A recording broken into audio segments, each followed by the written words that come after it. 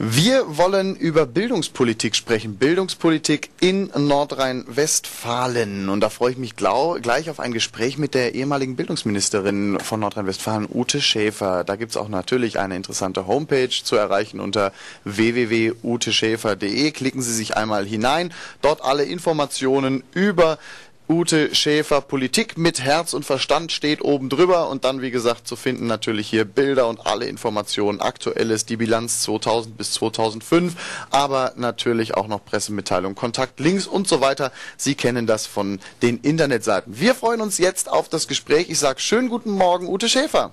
Guten Morgen, Herr Killing. Grüße Sie ganz herzlich. Frau Schäfer, wie verlässlich ist der Unterricht in Nordrhein-Westfalen jetzt auch vor dem Hintergrund, dass Sie bzw. die SPD ja nun auch schon über ein Jahr nicht mehr an der Regierung ist? Wie geht es weiter voran in Sachen Bildungspolitik in NRW?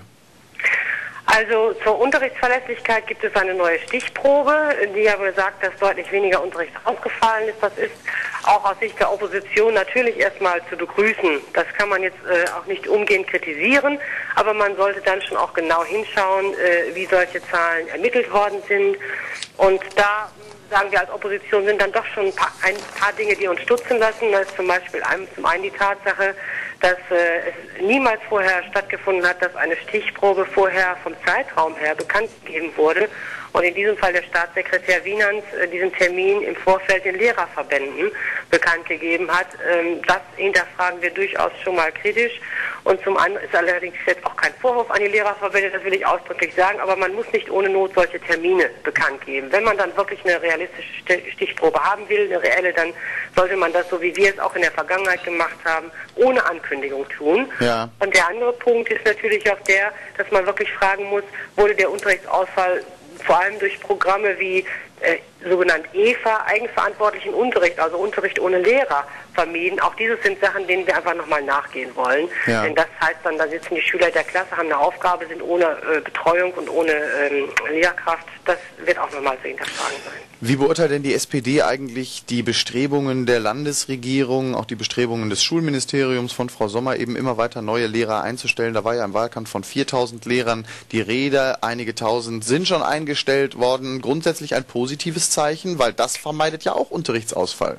Ja, das, äh, das ist allerdings eine ganz kritische Geschichte, denn die Landesregierung spricht immer von 4000 Stellen, die sie schaffen will, neuen Lehrerstellen bis zum Jahr 2010. Allerdings haben wir schon zwei Haushalte vorliegen, jetzt den 2006 und 2007er Haushalt.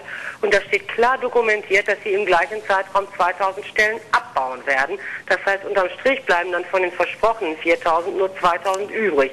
Und das finden wir schon ja, eine ziemliche Zahlentrickserei. Äh, mhm. Es ist für uns die sogenannte Lehrerlüge an der Stelle. Da wird abzuwarten sein, was unterm Strich wirklich 2010 dann dabei rumkommt. Gibt es eigentlich Fächer, bei denen oder in denen mehr Unterricht ausfällt als andere Fächer? Sprich, also gibt es irgendwo bei bestimmten Fächern auch Lehrermangel, dass man sagt, Mensch, wir brauchen einfach viel mehr Mathelehrer zum Beispiel? Also wir wissen schon, in welchen äh, Fächern eklatanter Mangel herrscht und äh, das sind äh, mit Sicherheit immer noch Naturwissenschaften, das sind aber auch einige Fremdsprachen und das ist sehr unterschiedlich in den Schulformen.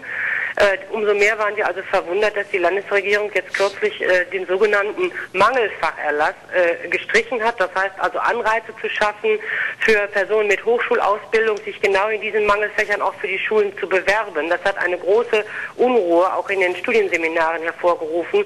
Und das sind natürlich Maßnahmen, die stehen äh, tatsächlich konträr zu dem, was die Landesregierung nach außen verspricht. Ja.